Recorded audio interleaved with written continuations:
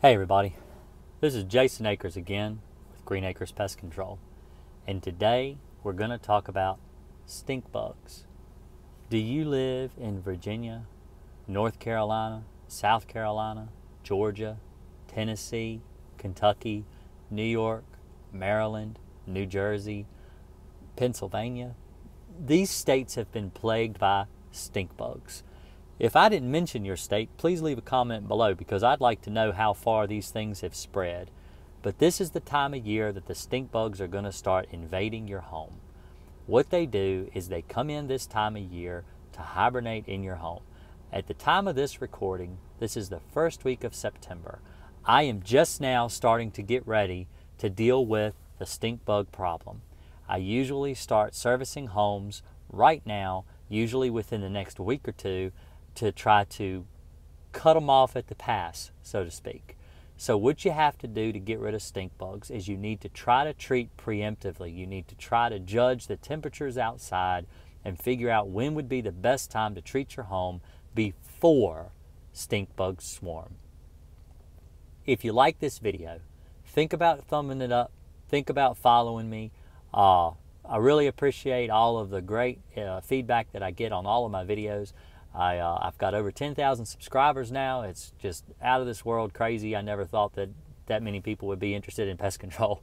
But today I'm going to go over a step by step process that you need to take to be able to make sure that you don't have stink bugs this season, or next season, or the year after that. We're going to try to eliminate the stink bug problem before it's a problem. So, to understand, let's understand stink bugs for a minute before I get into this step by step process. Um, you need to understand why they're coming in. So, when the temperatures outside drop below 65 degrees at night, the stink bugs, it's almost like it triggers them where they're like, oh boy, we need to make sure we get inside. It's going to get so cold. But it's really not that cold yet. People still have their window units in their windows for air conditioning purposes.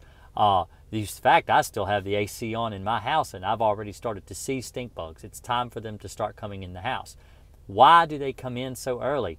We don't know, but they're one of the earliest invasion pests there are. So, this video is not only going to go over stink bugs, it's also going to go over cluster flies, wasps, and other types of invading flying insects that come in this time of year.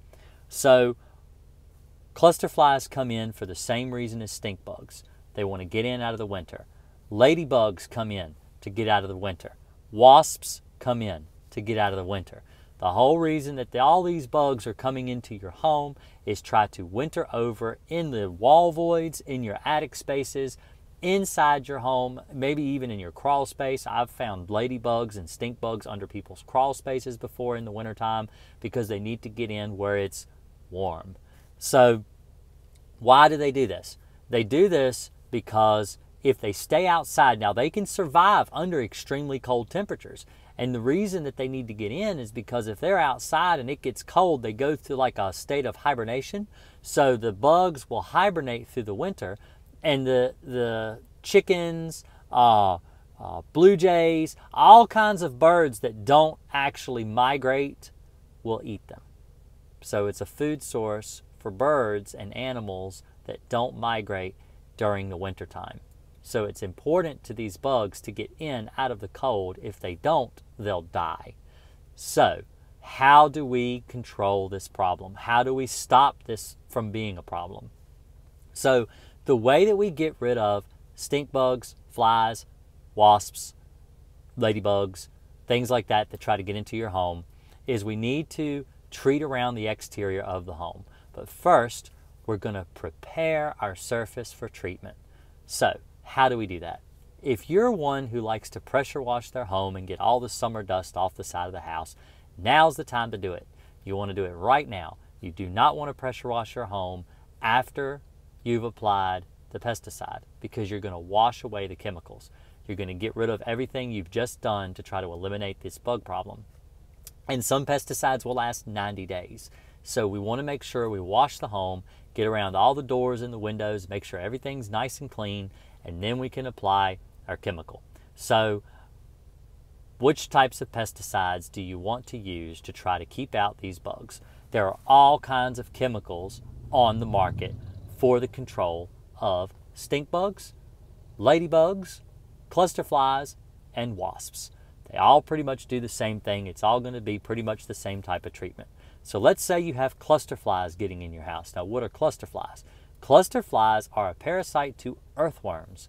They come in this time of, time of year to hibernate. And the reason I'm going over cluster flies is because people get them and they don't really know why they come in the house. They think they have garbage, they think they have trash, and really it's just the cluster flies are coming in to try to hibernate. They don't actually spread disease or anything like that in the house. They're a little black fly. They look like a house fly, but they're black. They're not green, they're black. They breed off of earthworms. So, how do we get rid of these types of pests? So, a lot of your pesticides are labeled for all these bugs. What we're going to use, we're going to use Alpine WSG. That's the pesticide that we use for exterior treatments of the home in order to keep these pests from coming in. And we're going to do two types of treatments. So, normally I talk a lot about crack and crevice treatments in my videos. A crack and crevice treatment is when you treat a crack. So, anywhere that a window uh, comes together and it creates a joint, you're going to have a crack like that. You want to treat in that crack with the pesticide residual. So, you want to mix your pesticide in a gallon sprayer. You want to treat in those cracks with either a pin stream or a fan spray type spray to ensure that the chemical gets into the crack. Also, we're going to spot treat. Now, this is something I don't talk about a lot on the channel, but in order to eliminate things like stink bugs and cluster flies, wasps, hornets, bees, stuff that try to get into the house this time of year, um, we want to do a spot treatment type application. So if you find that the ladybugs or the cluster flies or the stink bugs are congregating about around one side of your house, typically your southern side or your western side wall usually gets the worst stink bugs, ladybugs, and clusterfly problems. Also, your wasps will come in that way too. And they'll congregate all over the wall and they'll be like crawling all over the wall. And when you try to open your door to go in, a lot of times they'll fly right in with you because they're just all over the door. In those areas, you want to kind of fan spray the wall. Now, that's called a spot treatment. You don't want to have to treat the entire wall. You don't want to treat the entire exterior wall of the house.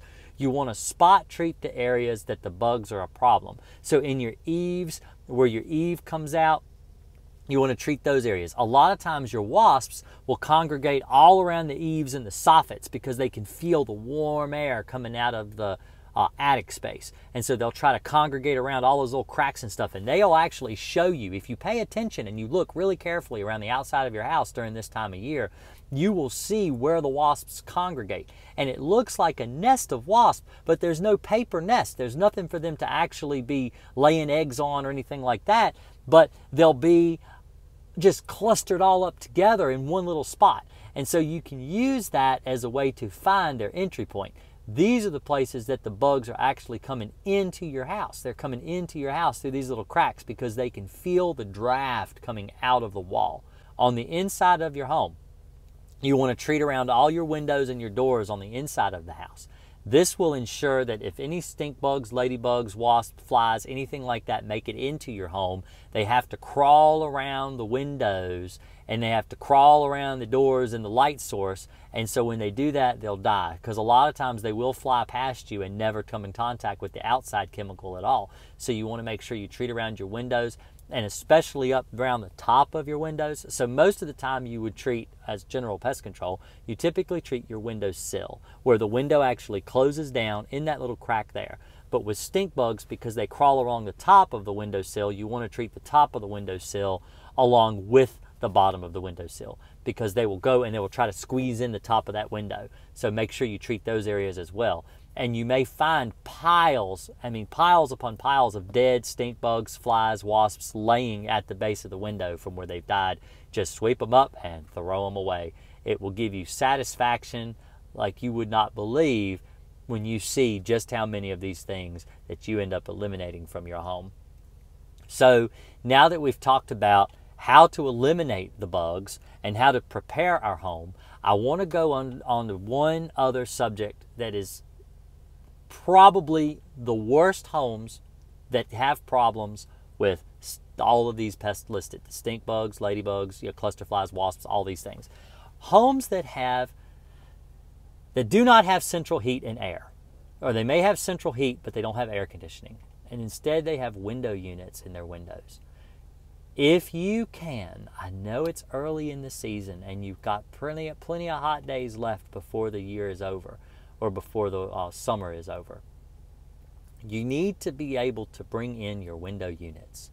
If you can bring in your window AC units, it will save you so much headache on your stink bug treatments because treating around the outside of a window unit is extremely difficult. It's very hard to keep the stink bugs from crawling inside the air conditioner from outside. It just, it really is very, very difficult. If you're having problems with stink bugs coming in around your window units, you may want to look in purchasing a newer window unit. A lot of the newer units have better filtration to keep things like that out of your home. You still have the problem where they seal around the tops, bottoms, and the sides of the window where the bugs can still squeeze in, and you still need to target those areas when you're doing your pest control application. But the problem is, is that they can still get in around your window unit. So um, understand that you will probably have a worse problem. People with window units are going to have a much worse problem with these types of invading pests just because you have such a large hole in the wall that you've created by putting in a window unit. And typically, the homes that have window units are in that warm side of the house where the stink bugs and the ladybugs and everything are going to congregate because they feel the warmth radiating off the siding. So they crawl all over that surface of the wall anyway, and they'll come in around those window units. Keep in mind that these areas are the areas you want to target. You want to try to treat the outside of that wall under the lip of the siding where every piece of siding kind of lips over itself. You want to treat under that, especially if you have lap board siding. You want to treat the cracks where the lap boards meet to the meet each other. Um, whether it's HardiePlank, whether it's wood, whether it's masonite, you want to treat underneath those uh, lips of every single piece of the siding, especially the horizontal pieces, so that they will die when they squeeze in around those cracks. Hopefully, this video has helped you eliminate your stink bug problem for the winter. Uh, if you like this video, think about subscribing to my channel. Give me a thumbs up. I really appreciate all you guys. Y'all are just the best audience. I've got the, I've got the best audience on YouTube. You guys are great. I appreciate it. And stay tuned. I'm going to try to do my live streams every Thursday night, and you guys can come on and ask me questions live. So, y'all have a great day. I appreciate it, and I'll see you then. Thanks.